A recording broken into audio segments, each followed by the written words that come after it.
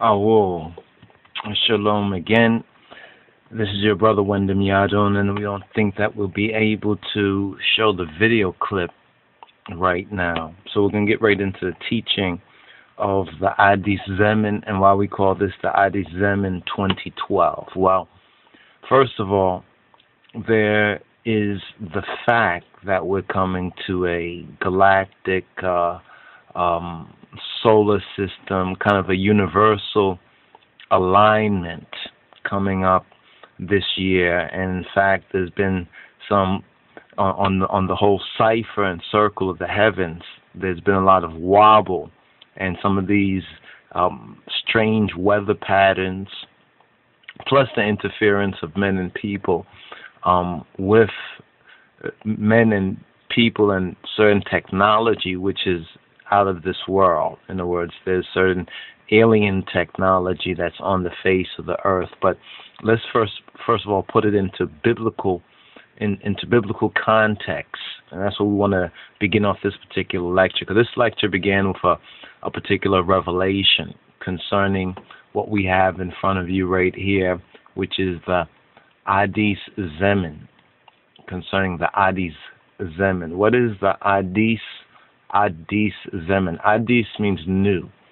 In the Afro Shemitic, in the Amharic, coming from the Ge'ez. In the Ge'ez, it's Hadis, Hadis, Hadis, Hadis, as we have in the Hebrew, um, Hadasha as well.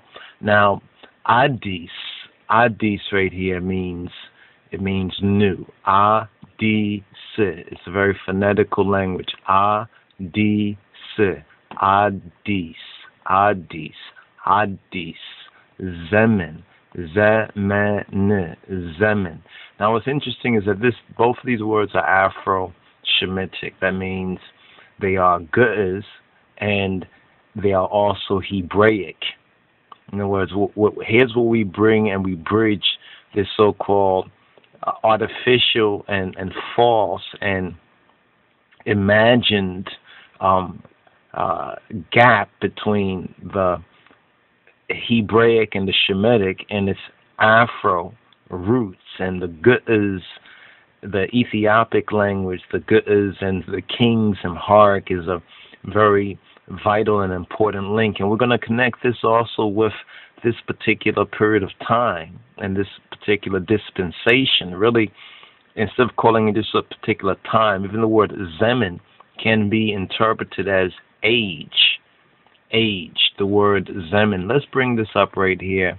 Um, the IOTA software.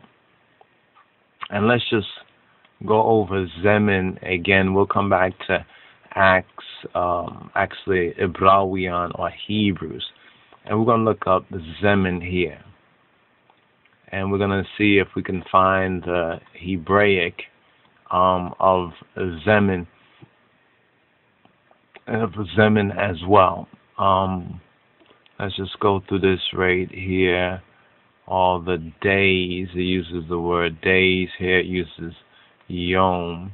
But if we go to Zemin or Zeman, we also have a similar a similar context of um, Zeman. Sometimes it's translated as days, but if we can get the word, here they use Shana here in the Hebrew. So we have a very diligent comparison from the royal Amharic of the Metaf Kedus of His Majesty's of His Majesty's Bible, along with the King James version. This is also Yom as well.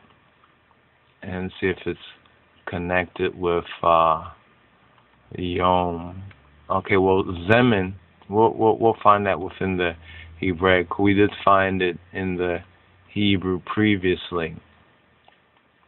But all of this can be quite easily, quite easily proven from the scriptures and through a diligent study this is why it says to study and to show ourselves approved. We are to study and to show ourselves approved to God as workmen that need not be ashamed, rightly dividing the word of the word of truth.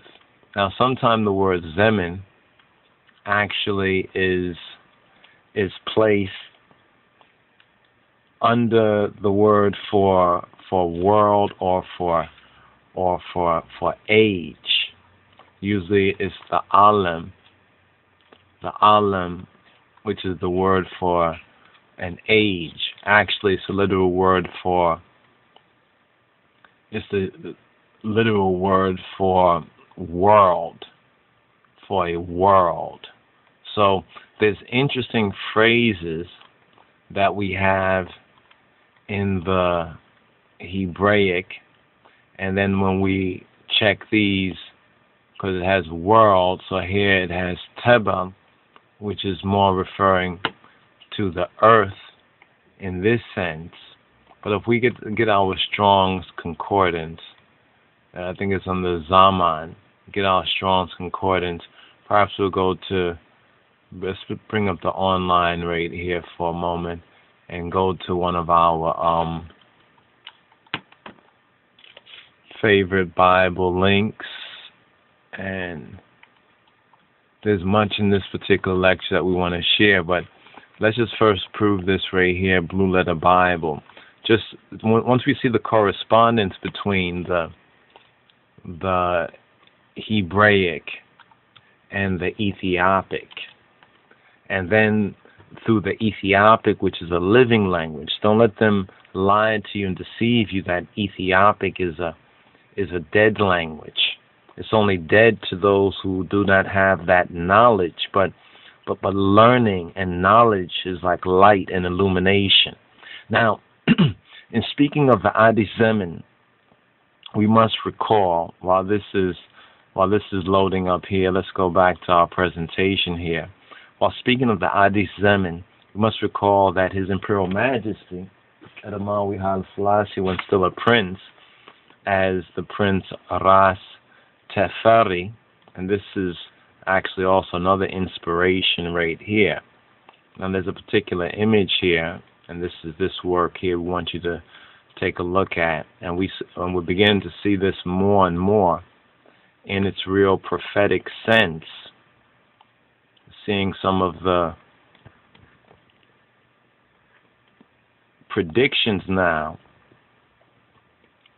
concerning 2012 and a particular alignment. Now, some of the brothers and sisters might recall that we had uh, that we had um, dealt with uh, the syzygy not too long ago. So let's look at this image right here. Now, this image right here.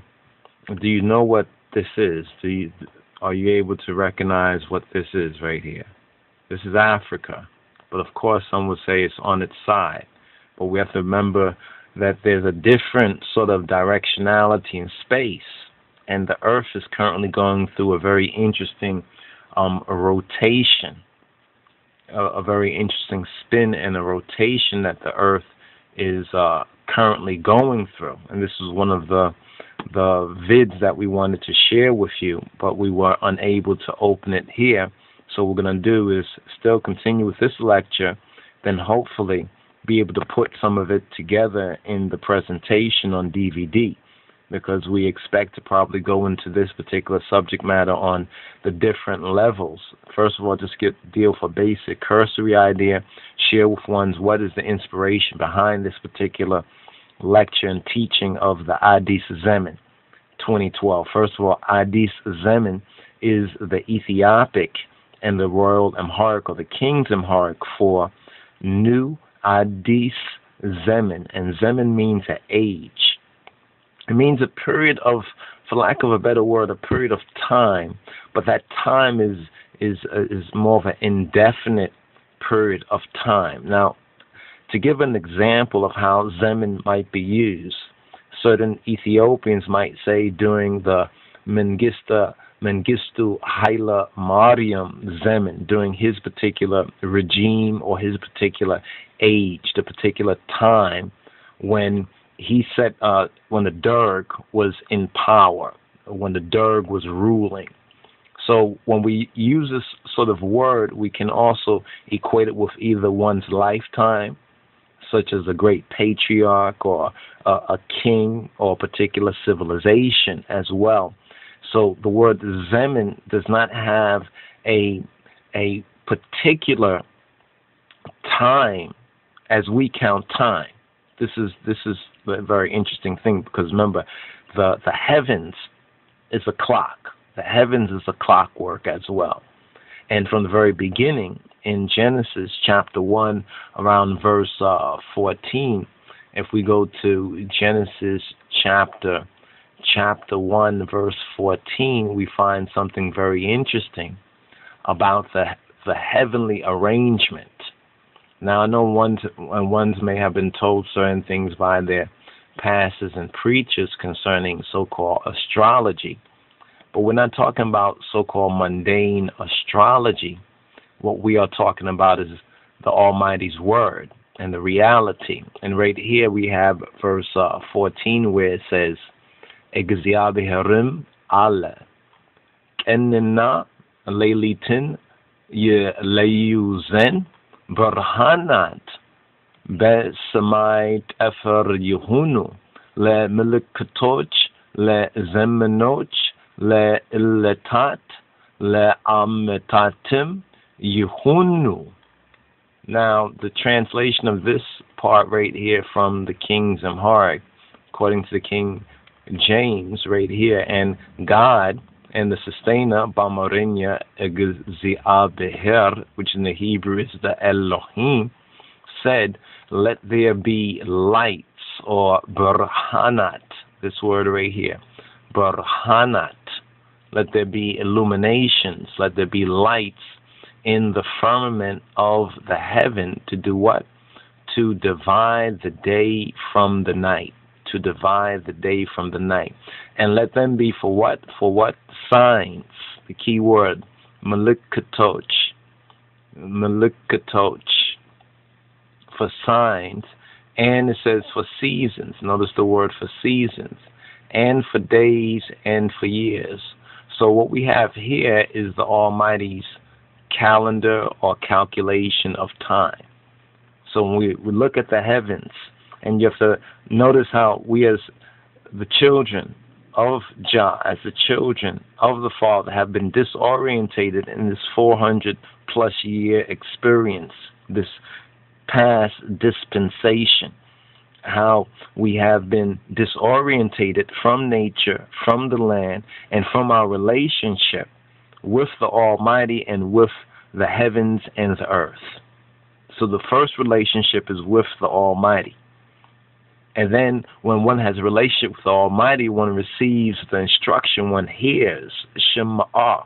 One has a simma, mesmat, a hearing of the word. And in the hearing of the word do we receive the instructions in Torah or the Orit.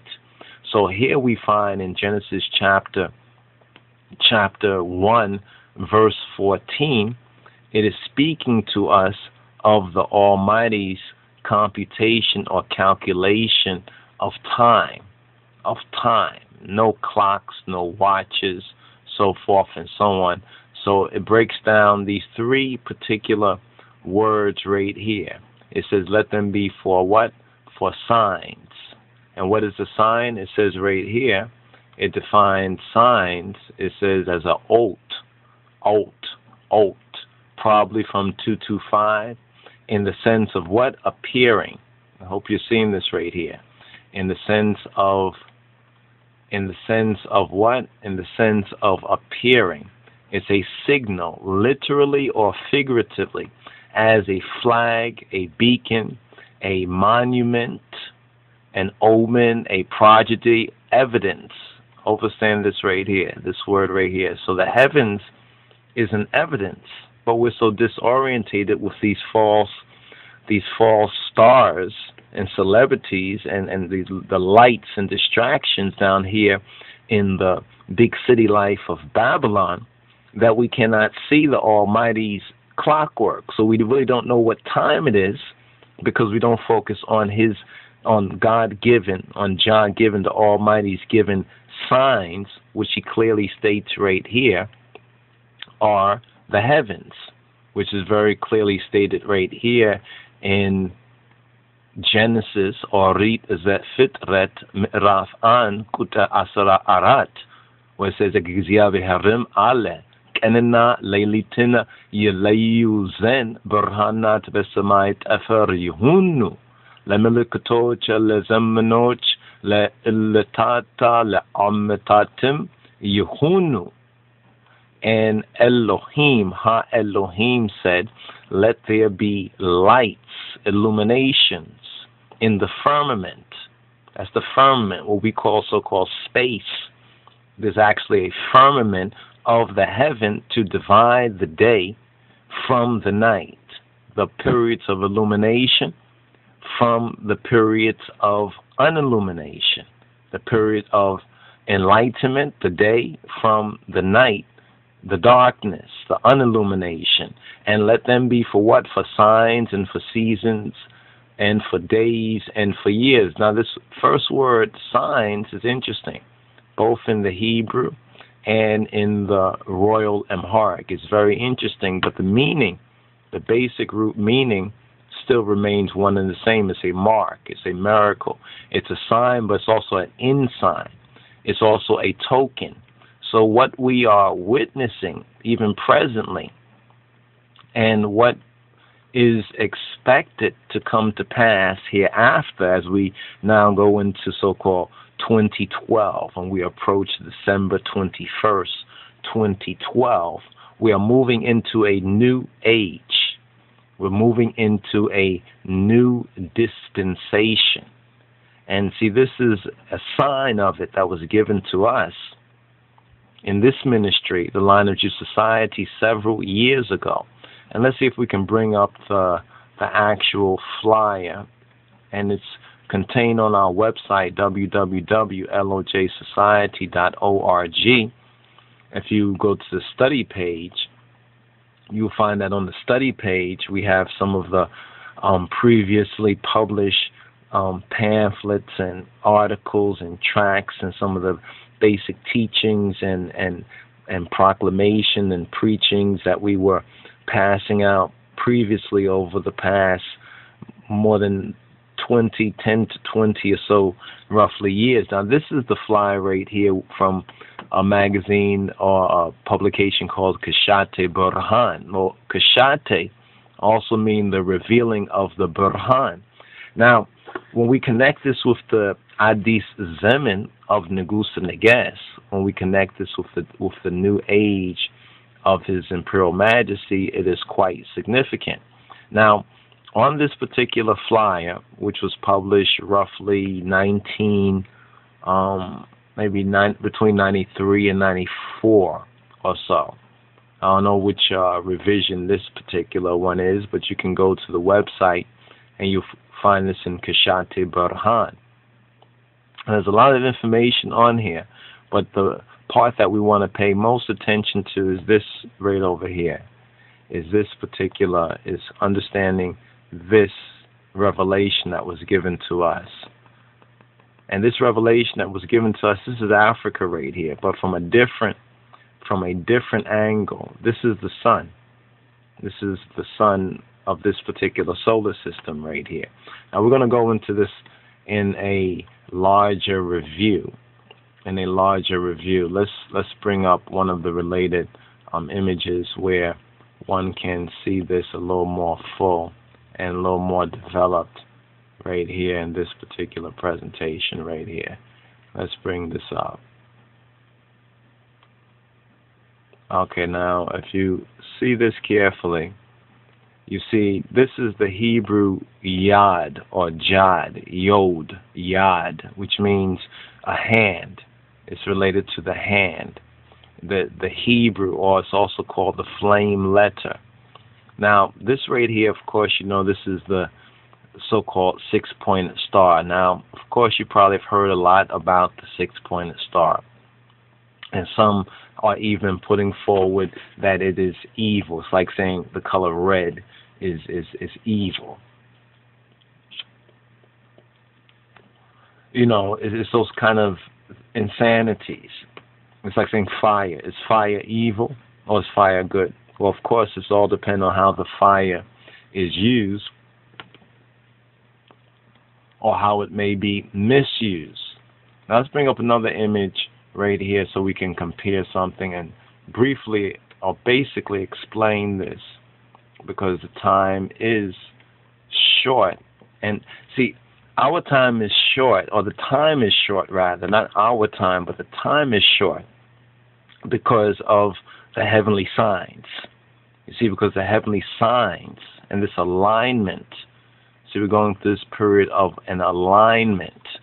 So the question is, are we in proper alignment or are we out of alignment? This is what Shabbat or Sabbath keeping is all about. It's all about that alignment. It's bringing us into that spiritual, that spiritual alignment. Now, over here, this says Yod. In the Hebrew, it's known as Yod. In Hebrew, known as Yemen. Yemen or Yemen. Yemen, as in Bin Yamin, the son of the right hand, my right hand. In the Ethiopic, as Yemen, the right hand or the fist is the black power fist, and you can see this right here, the black power fist, which is upraised. Now, when you look at this in older Ethiopic, now this is the letter Yah, but the first order would be this circle, and the circle would be on a straight standing pole. You see, this is to this is to the left here, and this is because this is partially stylized. But when you look at the ancient Ethiopic hieroglyph for this symbol, it, for the lack of a better description, almost like a lollipop in a sense, a circle on a pole, almost in the sense of saying a head on a stick. But really, the real symbol is it's a upraised fist. It's that black power fist. You understand? So the fear of the black planet is real. There's really a fear of a black planet because when you understand how the earth is realigning itself, as you get as they say, deeper into the knowledge of this from an Ethiopic perspective. This is what's being suppressed out there for the so-called conspiracies and 2011 and Mayan prophecies that we have, even through the Ethiopic book of Enoch, a firm foundation. But in this time, it's not just to watch and wait, but it's to prepare. So now, this symbol here, the six-pointed star, we wanted to show this right here this diagram right here. Now, as you see, there's a Trinity above. Ones have asked us concerning this, concerning the, the Trinity and what we've been seeking to do in our teachings. In the Bible based studies, the Torah portion readings, and, and the supplemental teachings, is to go into the scriptures and go into our Ethiopic um, art and facts and prove the half of the story that has been elsewhere suppressed. Now, there's a Trinity above. The Trinity above is Father, Son, and Holy Spirit. This is pictured by this right here. Now there's a Trinity below, which is the reflective image, when it says that man in Genesis was made in the image and after the likeness. So in the image and after likeness, that, that so-called inverted or downward triangle is the spirit, or some will say the psyche, the mind here should be better, the soul or the psyche, the suke, and the body. So we have spirit, soul, and body, or spirit, mind in the sense of psyche and body. Now, when this is brought into union or harmony, it's the, that sixth wing. You remember the sixth wing where it said that they flew those who were around the Father's throne, that they had those six wings. As we can see right here, it's a six pointed star. The connection now with those angelic beings. You understand? And this also connects some of the areas of the Gospels where Christ spoke about the angels in the end time manifestation, that there are many different orders of angels, and there are good angels, or tob, melaikt, but there are also kufu, or evil angels. You saying? And that's the part about the fallen angels. Now, what we have on the face of the planet Earth is a is a reflection of the spiritual warfare but there's also a beautiful alignment that is happening, that is occurring at this one and the same time. Now, this here touches on the great the great pyramid geometry or the geometry of the great pyramid. Now, of course, this is a lot of so-called geometry right here, but once you understand and once you comprehend the basic symbolic logic, the meanings and the reference, the relationship, and see the scriptures the scriptures contain all of this. The holy scriptures contain all of this. And you can see some of the, the Hebraic the Hebraic like letters right here. And this is also represents a particular alignment too. with The moon right here. You don't see the sun in view, but it represents a particular alignment. And this is part of the mystery of the circle and the square. But the circle and the square both being 360 degrees mathematically is one and the same. So what do we really have here? You? See, that's that's part of that's part of the the truth. Which this is like a kindergarten. This is like a kindergarten of. Now let's bring this forward right here. So the ya or the yod or the jad, the yad or the jad is very very important. It's the first letter of the Hebrew name of Yah, as in Kumbaya. Not come by here, Lord. No, no, come by Kumbaya. Yah. Our ancestors knew the name of the God of Israel as Yah after they uh, traumatized us for X amount of years and put us under a lot of um, mind control. Some forgot, but as soon as they were able to read or hear the Bible read, it quickened. It quickened that spirit. This is one of the reasons why they wanted to forbid the Bible and, and the teaching of, of English, teaching of the language to the so called slaves as part of the Willie Lynchism.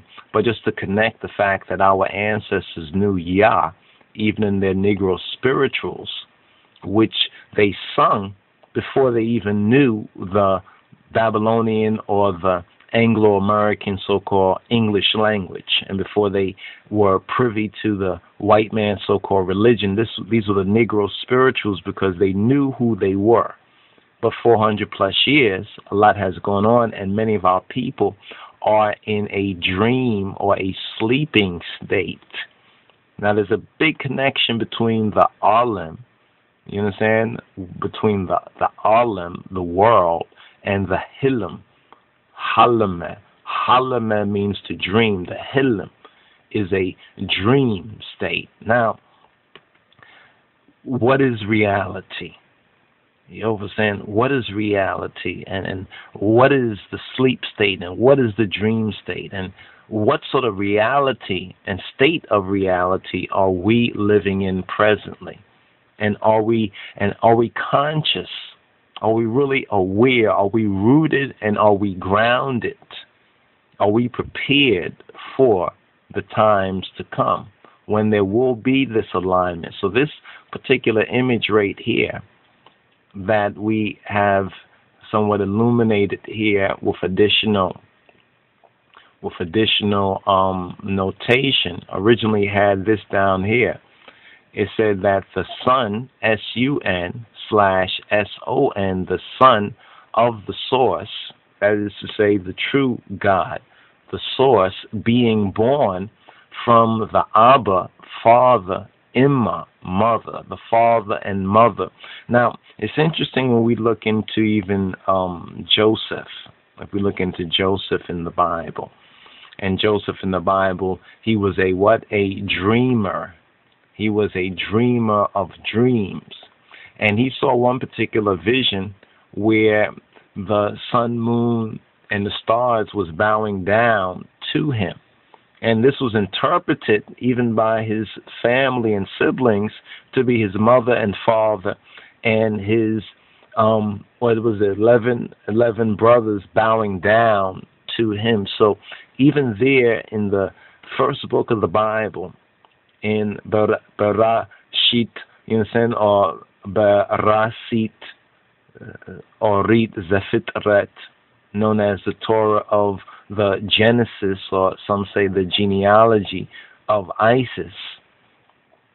that we find even in that first book of the Bible, this connection with the heavens and personified types, the sun as the father source, and the moon as the feminine or the mother source, and the earth as the child. So now we have the earth now is moving into a galactic, a a solar, a cosmic alignment. A cosmic alignment. Now what does what does this all mean? You understand this means that first of all, as the Wizard of Oz in the movie Wizard of Oz, they said, "Well, we're not in we're not in Kansas anymore." You understand? We're in a truly new world, and see, this new world is beyond the so-called just new world order of men and people and uh, regressive alien, um, or we can say demonic entities who are interfacing and overlapping with certain um, um, Satanist accomplices among the men and the people. But we're moving into an alignment of great significance. Now, we link this alignment of great significance with the Addis Zemen. And let's bring this up again the Addis Zemen. You understand? The Addis Zemen or the New Age. Now, the New Age, you see the date right there is November 2nd, 1930. Now, why is November 2nd, 1930 important? Because that was the coronation of Christ in his kingly character of the anointed King of Kings upon the throne of David. The throne of David is not any ordinary throne. The throne of David according to the Bible, is the throne of Jehovah, is the throne of the Almighty God. Now, who sat on this particular throne? And who is it that was coronated on this particular day? Well, of course, it was Kedamawi Haile Selassie. Now, the coronation of His Imperial Majesty has great significance and even greater resonance as we are moving into this cosmic alignment to in this cosmic some can say syzygy the erection of the holy grand cross in the heavens and it is whether men and people and mainly us brothers and sisters whether we are in tune or out of tune. See, here, here's the connection right here. Whether we are in tune with the heavens, with the Father, the Son, and the Holy Spirit, the one God, and through Christ. Now, Christ is that bridge that now brings these two parts together. It is Christ. It is the true and living Christ. It is the Word that becometh flesh that brings these two parts or these two halves, these two as one, because He is, according to the scriptures, He is that mediator between God and man. It is Christ who is that mediator between God and man. Now, this is extremely, extremely significant because the teaching of His Imperial Majesty is all about the testimony and the template and the example, the living example of Christ based on His word of truth, as we would call it, based upon the Bible, but the living Bible. And what we have witnessed in His Imperial Majesty and through His Imperial Majesty is that living witness is that living testimony to Christ in his kingly character. That is suppressed, that is ignored, and this is why our role and responsibility to minister the good news, to learn, to learn of him, to come into alignment with Him in spirit and in truth, and to minister this gospel, this good news of the King of Kings and His Christ as we are approaching into this new day, into this new time, into this this this this alignment that some call the dark rift. You've probably heard it mentioned that this particular alignment is the dark rift. But let us ask ourselves exactly why is this alignment called the dark rift and what is it about this that evokes such strong and even to some degree uh, negative reaction or emotion? Well, first of all, in order to understand, as they say, what's going to happen in the end, we need to understand, well, what happened in the beginning. Now, this right here is some of the speculation concerning um, Nibiru and the 12th planet and what some have borne witness to, and based on all the evidence, it is right and exact, was a collision. Was was a collision with the planet Earth. Now this is a very small picture here, but we're gonna do our best to try to try to enlarge enlarge it, which was a collision. See, there was said to be a collision. You understand? Because of such alignment, some say. You understand? So the events that we are witnessing and this age that we are going through currently is basically a cipher of that which is that which was already. So it says that which is, you understand, there's nothing new. What is it? Under the sun. But now these events are not just under the sun, these events involve the whole galaxy, the whole universe. Now, many would try to discount the significance of this particular alignment that we are going through. But my brothers and sisters, it's a time for spiritual and just soul preparement. Soul preparement. That that um diagram that we gave before. Let's put some of this down. Let's get that diagram that we we can touch on this and go into some more detail about this. But this diagram right here, this alignment, this alignment right here, it's about us coming into alignment. That's when the Bible says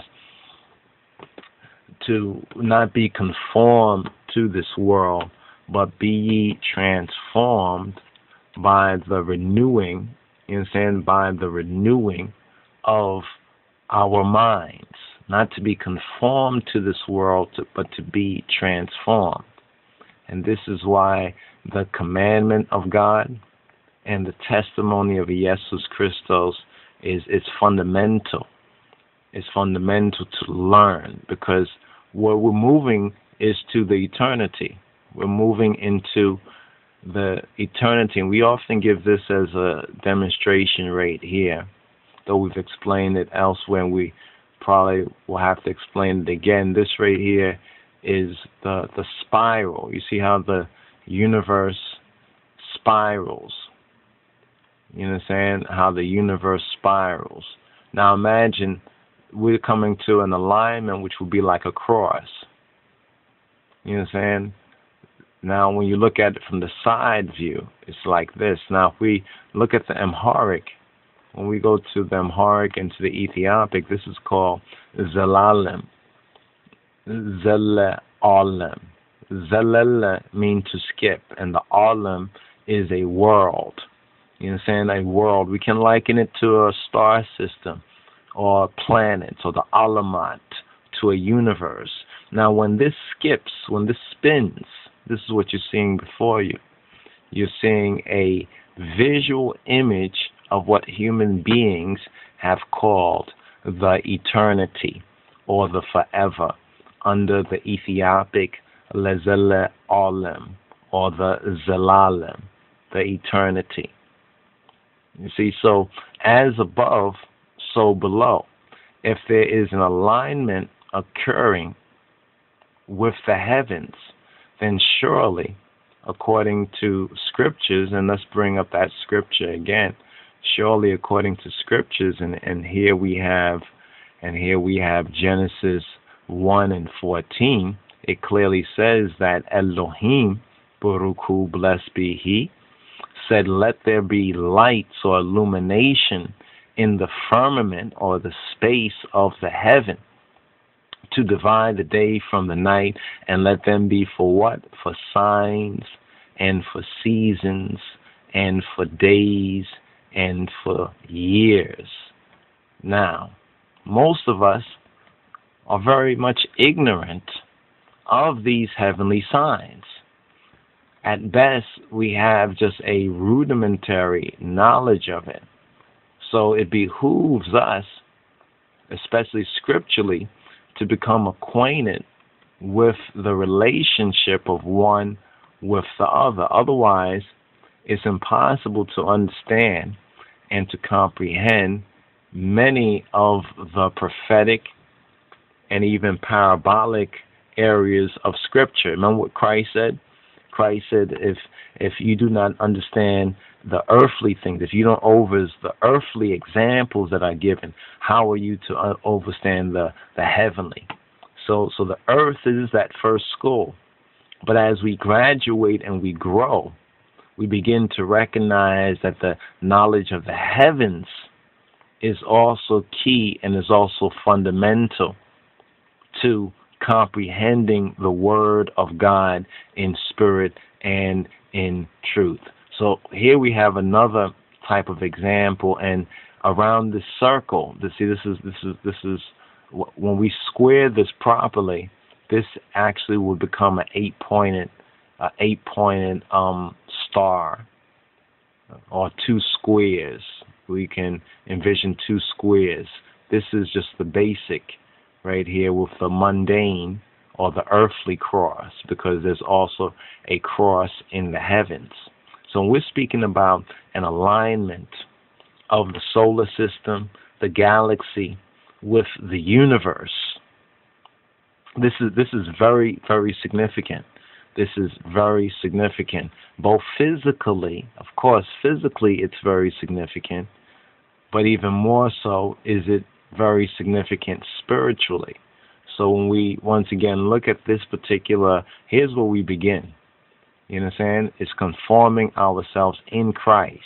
In fact, we get a chance, we'll update this particular um, this particular art right here um, and put Christ right here because Christ is important right here because he's that mediator between God, between the Father, the Son, and the Holy Spirit, the Ab, the Weld, and the Memphis Kadus, and man, and Yesolij, and the Son of Man, and man bringing his spirit, his mind, or his psyche, his soul, and his body into alignment.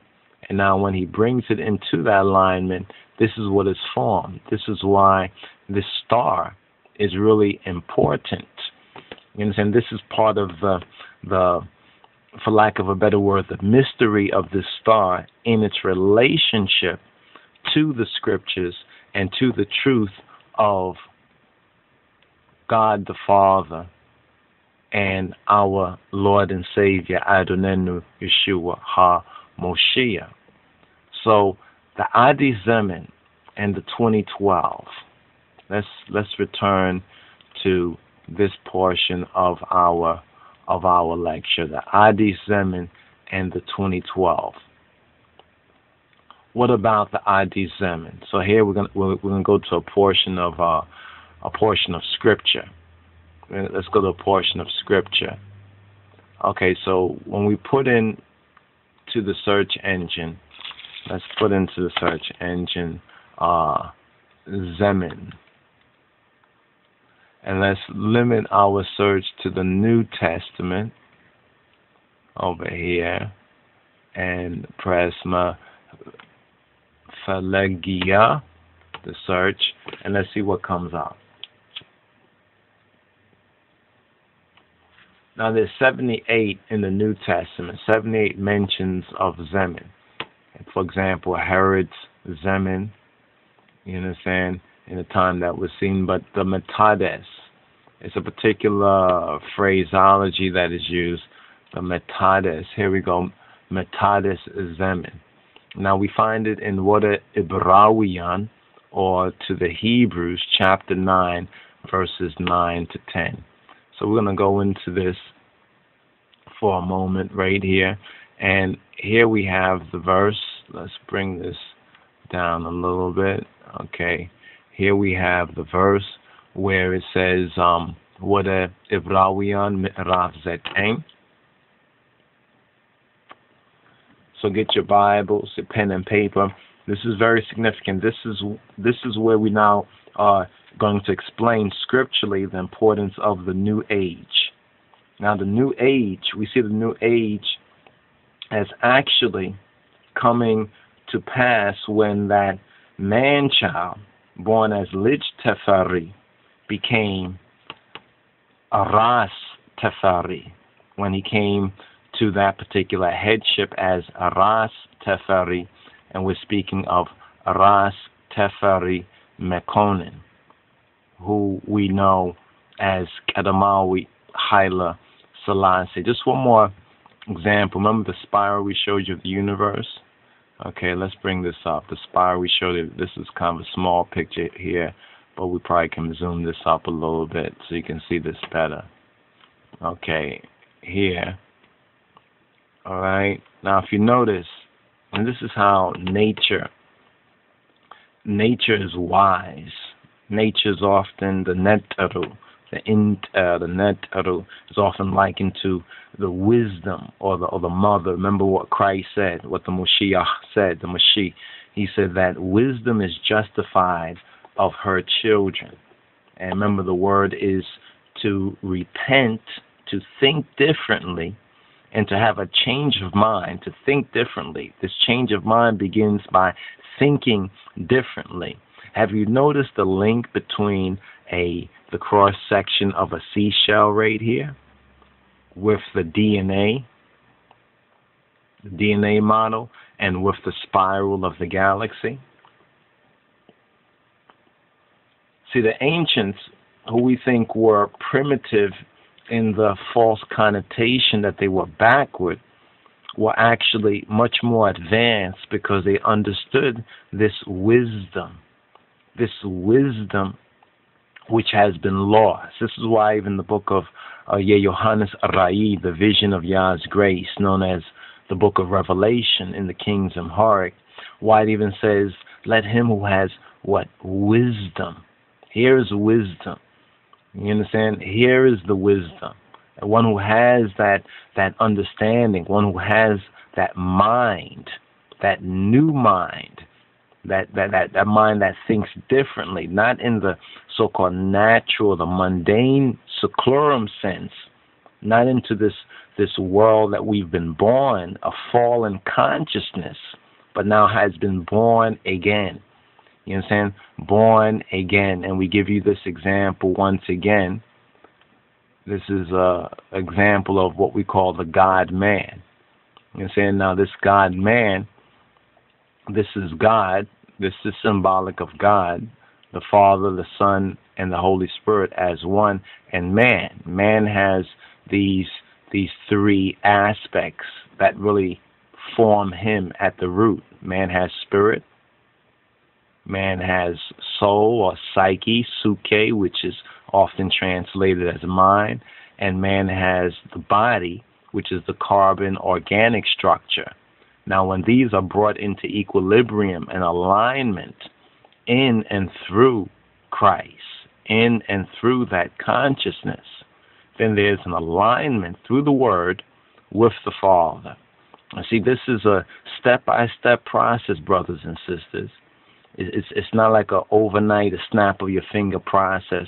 You know what I'm saying? But but but the growth in consciousness is like practice. Practice perfects. This is why the Moshiach said, "Be ye perfect." Christ said, Be perfect, even as your Father who art in heaven is perfect. But we have to comprehend that and, and understand this that there was a certain dispensation, a certain time given for the expiration as well as the execution of certain matters in the earth. And this is all for our good. Even though many of these things may appear to us in our spiritual ignorance to be evil, as we learn and grow, we get to recognize that there are evil forces. But if we would maintain on the way, in the way, in the truth, and in the life of Yeshua HaMoshiach, we would be more than overcomers. And this is the greatness of the testimony of Kedamawi Haile Selassie. This is the greatness of the testimony of His Imperial Majesty. So, the coming of and the coronation of His Imperial Majesty actually connects with this particular verse here. And this is the connection with the Adi Zemin as we go to um, Hebrews chapter 9, verses 9 to 10. So we're there. Okay, let's go through this right here. So Hebrews chapter 9 says, Yihim le'ahunu gize mesaleno. Inda zihim mebana mesawa'it yikarbalu. Inda zihim iska metaddesa zemin deresa yetedaragu.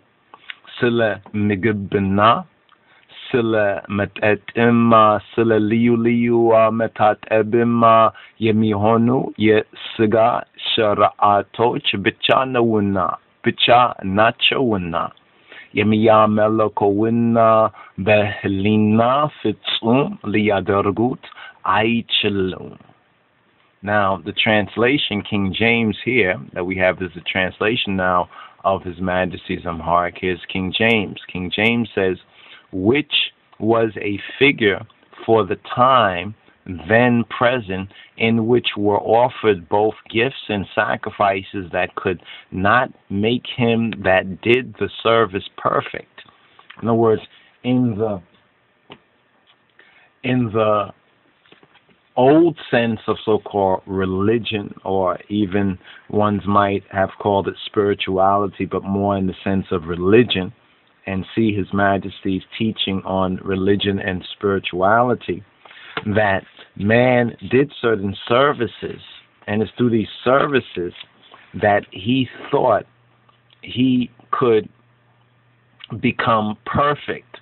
But it says here that this pertaining, as pertaining to conscience, as pertaining to conscience, the conscience of the Helena is a different matter because it says which stood only in meats and, and drinks, and that which one ate and that which one drunk, and in diverse washing, in the different religious Levitical ablutions. We can even say with baptisms as well, and in carnal, which is fleshy ordinances, that which dealt with the body or the outer consciousness or the outer sense of man, the physical sense of man, imposed on them until the time of Reformation. Now, here's the key right here. These things were imposed, it says, until the time of Reformation. Now, what is this metades zemin? What is this time? Remember what we said that, that the word adis Adis in the Royal Amharic from the Ethiopic Hadis, the Hadis, and we have in the Hebrew like Hadasha, means to to make new, become new, to treat as new. Also, it can mean to repair. That's also another interesting sense, and many of the words have um, more than one nuance of meaning. And this is where the, the, the spirit is like slang in a sense. They spoke in a certain idiom, a certain type of speech. It's like we speak or people nowadays speak text messaging and everything else. If someone were to come from the past, they would be utterly confused. The same way ones read the scriptures without the context. And this is one of the important things to do in our studies to understand, to be able to explain anything and everything pertaining to the verse, verses, or chapters that we are reading. Now, here is a footnote. Now it says a symbol, a type, a parable, the misale. It speaks of the baptism, but the key thing is the Reformation, the metades, and this time of Reformation, this age of Reformation, this zemin of Reformation, putting in order. This is all about the putting in order. So now we connect this new age properly with the King of Kings, with Haile Selassie, the coronation, the Addis Zemen, November 2nd, 1930, Anno Domini. Remember Christ when he went into the synagogue in, was it Nazareth? And he opened up the Torah scroll that Shabbat and he read and he read up to the comma in the verse. Now, he said to proclaim the what? Acceptable year of the Lord, November 2nd, 1930, brothers and sisters. 1930 was the acceptable year of the Lord. This is the coronation of the King of Kings or Christ in his kingly character according to the seed of David. This is the returned Moshiach, the returned anointed, the returned Christ. This is why the prophetic word says that Christ would re- return, they say, it'd be likened to a thief in the night where only those who were awake and aware and willing and ready to receive. In other words, they were prepared. So there was a generation that was prepared for the King of Kings. And those are they whom we speak of honorably and lovingly, those brothers and sisters who went before us and in the face of all sorts of persecutions, they bore witness faithfully to the King of Kings, Kedamawi Haile Selassie, to the Judeo Christian truth and spirituality of Ethiopia, as well as our divine heritage. Now, here when we speak of the Reformation, we mean the putting in order, the setting things straight, the setting things right. You see, when we look at um, Kedus uh, Mikael, he has scales in his hands. You see, he has the scales in his hands. And right here, this is a likeness of the reptilian, the reptilian who are being judged by that sword. See the glistening of the sword? It's like a two edged sword. It cuts when it goes in, it cuts when it comes out. And now we have this is a symbol of Mikael, similar to Georgis in its basic type. Now we have the one who now has overcome, the King of Kings, Earth's rightful ruler. Now we need to understand biblical prophecies because many, when we say that he is Christ in his kingly character, because they have a wrong Gentile misreading of the Gospels and don't understand the true Hebraic Judeo Christian concept or the, the context.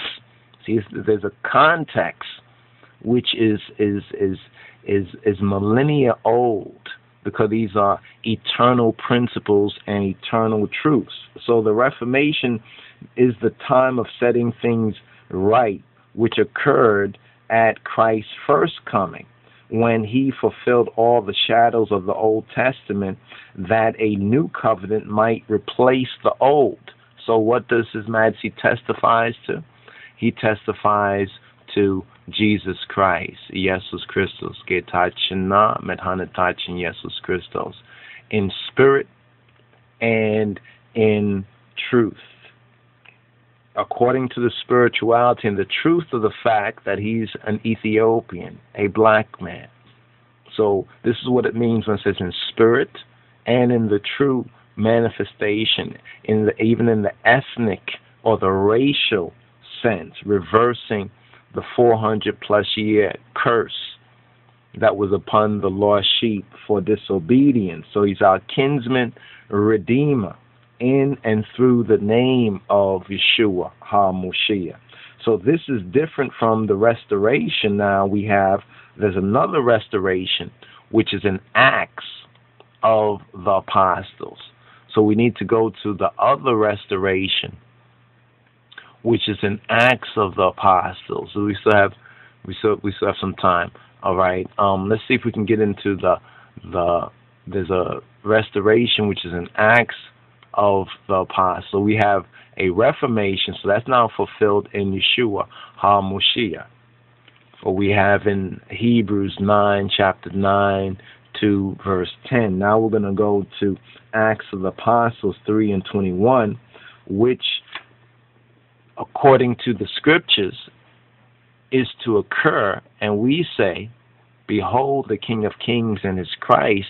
It has occurred in the second, what's known as the second coming, or the returned Messiah, or the black Messiah, whom they have tried desperately to stop the rise, stop the rise in the consciousness of the half of the story that hasn't been told until now. So now let's go to Acts of the Apostles 3, Acts of the Apostles chapter 3, verse 21 and we're going to now see what is the difference. We're going to see a difference in time. There was a time of restoration, the Metades, and now in 3 and 21, let's go to 3 and 21, bring up 3 and 21. So now we go to chapter 3, and let's go to verse 21. And here we go, right around here. Okay, here we go. So verse, um, okay. Let's actually go from verse 19 and 20, all right? بسماء والمنفس قدوس هادو أملاك إنجدي كجيتا nanat zamin indita met alachu. አስቀድሞም ለእናንተ የመረጠውን ኢየሱስ ክርስቶስን እንዲያልካላችሁ ኃጢአታችሁ የደመስስ የደመስስ ዘንድ ንስሐ ግቡ ተመለሱ it says repent ye therefore repent ye have a change of mind a metanoia think differently think differently. Think differently. You see that? Okay let's move that over. Repent ye therefore think differently. Therefore, think differently and be converted and be converted and be turned around from the straight way, from going astray, instead of turning away from the word of life, from the true and living water of the spiritual matrix. Being born again, the matrix is the womb. That your sins, you're missing the mark, hatiyat, may be blotted out when the times of refreshing shall come from the presence. There'll be times of refreshing that will come. Notice where where from? From the presence of Adonai, from the presence of the Lord. And he shall send, Notice says he shall do what? Send Jesus Christos, which before was preached to you. So it says he will send whom? He will send Jesus Christos, which was preached from when? From before he will send for you. Whom, it says in verse 21, በቅዱሳን ነቢያቱ አፍ የተናገረው ነገር ሁሉ እስከሚያታደስበት ዘመን ድረስ ሰማይ ይቀበለው ዘንድ ይገባልና whom the heaven, whom the heavens, the same heavens, must receive until the times of restitution. So speaking about there's a there's a time of what? Restitution of all things, which God, which Ha Elohim, Baruchu, blessed be He, have spoken by the mouth, the opening of the mouth of all his holy prophets, of all the Kedusan and the Beatu, since the what? The world began. Now that's the question. What does world mean? And what does beginning of a world mean in this particular context? Because see, there's a, lot of um, misconceptions that might make sense in a modern Gentile way, but scripturally is without merit, is without context. And unfortunately, there are many sincere Christians who are believing those half truths through a Gentile Western misunderstanding. Now, here in this particular Recovery Bible, it is speaking more about the times of the times of restoration is in the millennia. What's the millennia? The thousand year reign as prophesied in Isaiah chapter 11, verses 1 to 10, and Isaiah 65, verses 18 to 25.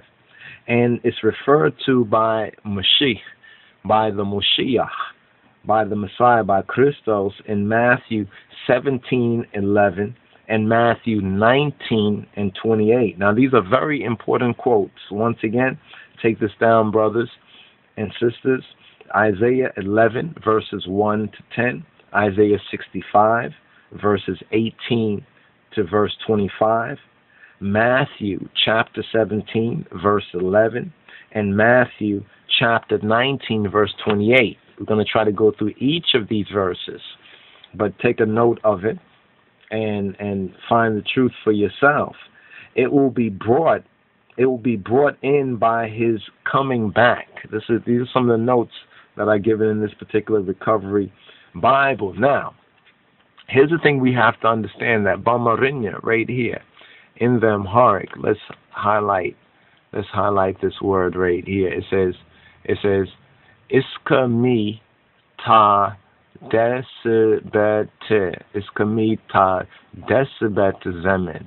Now it says until the time of renewing. It's the, it's the same basic idea as we have, you know as we have in Hebrews.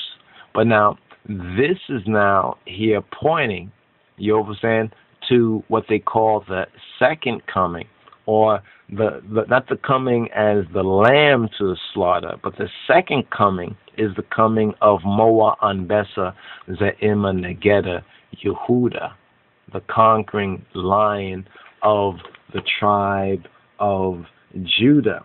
So when it says, whom heaven must receive, so Christos, Jesus Christos, he ascended. Now, here's where a very interesting alien, E.T., and Ethiopian connection can be made concerning this ascension of Christ to the heavens and Christ's own Ethiopian connection. It says, Whom heaven must indeed receive. Heaven must Kabbalah him. Heaven receive Yehoshua HaMoshiach until what's known as the times of the restoration of all things. The times of the restoration of all things, of which God, Ha Elohim, He spoke this through the mouth of His holy prophets from of old. So if we would study the Nabiyat, the Nabim, we will find the many instances where he speaks of this time of restoration. Now we see this time of restoration being opened with the coronation of His Imperial Majesty. And let's show this right here with the coronation of His Imperial Majesty. So it's that restoration of the true racial type to these divine archetypes of Kadistan Gilmaria, the Black Virgin, the Black Virgin Mother, which is the antidote for the horrorism among black people, in particular among black women and the broken families and the baby mama dramas. And then for the men, Jesus Christos. He is that archetype, our black brother, our brother, we can say from another planet. He said, My kingdom is not of this Alim. And now, in and through His Imperial Majesty, do we have this particular fulfillment. You understand? So we have these these proofs, these evidences, these signs. Here's Imperial Majesty steps on an unexploded bomb during the fascist aggression against that Davidic king, that David like king, upon the throne of King David, which is the throne of Jehovah. And here, a coronation, a beautiful coronation scene of His Imperial Majesty is also is also um, demonstrated here, or is also pictured right here. So all this is real. This is real evidence. This is not just like pie in the sky, but this is the actual reality of the Addis Zemen, of this new age that we have two sets of scriptures, you understand, in this particular study here, that we feel hopefully will lay a foundation. Now, what we want to continue on is the connection with these these stargates and opening up these spiritual stargates and being in alignment for the alignment. You see, being in the proper spiritual alignment. Now, we found this to be interesting, and um, let's see if we can get this in. You see this right here? This is called the 231 gates. Now, it's interesting because we have it from Aleph, you know what I'm saying, in the 22 to Tav. Aleph to Tav the idea of alpha, omega, this complete cipher. Now, what's interesting is that the Royal Amharic, the Amharic uh, Fidel, or the Amharic alphabet, the Ethiopic Fidel, the letters or the syllabary, you know, it's a symbolic phonetic language.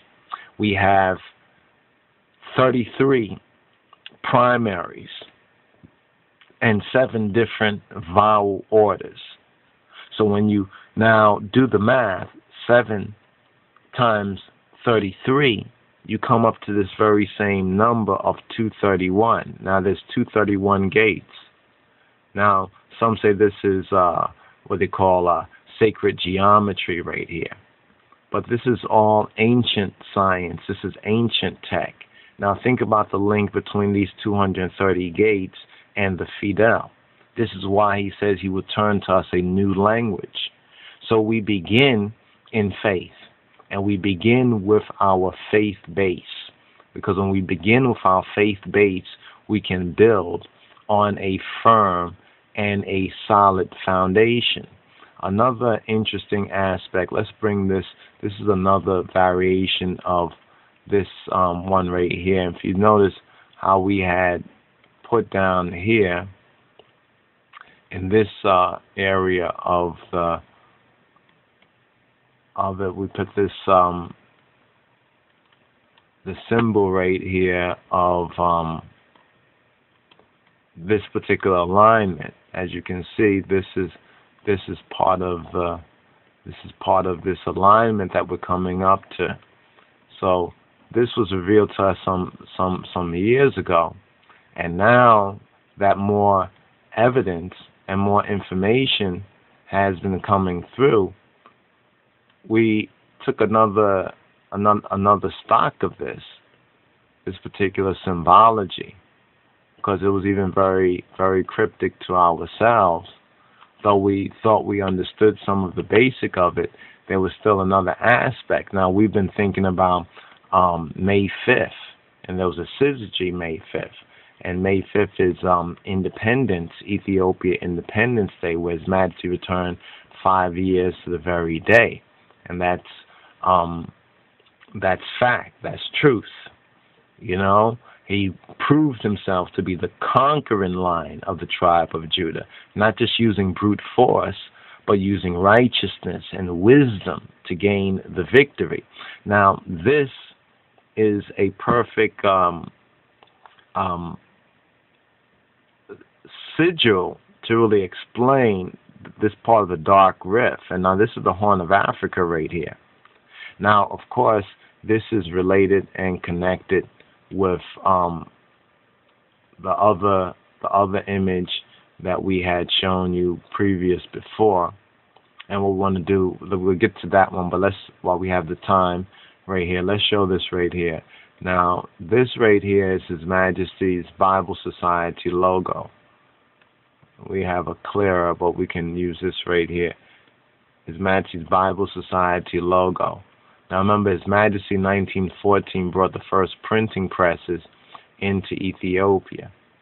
And he named that printing press the Burhanana Salam, or the Light and Peace, as well as a, a newspaper, um, a certain periodic, periodical called the Kashate Burhan. And the Kashata in the Ethiopic, the good is, it means the, the revealing of light. And, and also the the the newspaper of the empire of Ethiopia known as the Addis Zemen, which means the, the new age.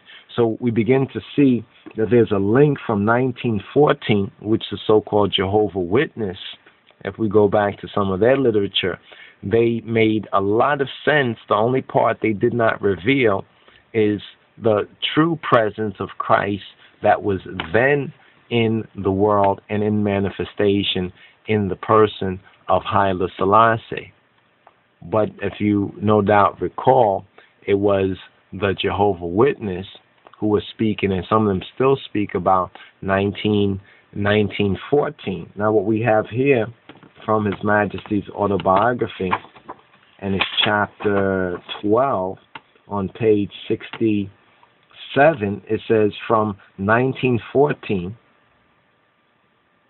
right, onward, we purchased from our own, our, our private money, two book printing presses and many books in Ge'ez and in Amharic with interpretation were printed.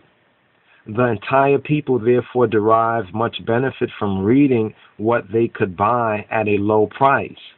A weekly paper called Light and Peace or Burhanana Salam and a monthly paper called Kashate Burhan, Revealer of the Light. So we see a focus with the light and with the and with the yeah, okay, and with the illumination in and through the teachings of His Imperial Majesty.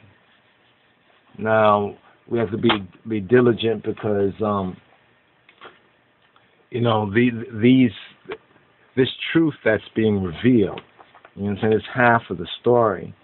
You understand? It completes it completes the cipher. You understand? And we pray that you'll be able, brothers and sisters, to meditate on this and to do your own study and to and to find that truth for yourself through this and this will be an important part of, of your building blocks, building up and building a strong foundation. So um as we continue, we want to touch on some related uh, some related um, matters as well, and we're going to go into this a little bit, a little bit, um, a little bit more so. So, my brothers and sisters, um, stay tuned. More to come concerning the Addis Zemen of the King of Kings and His Christ. Getachena and Hanatachin, Jesus Christos.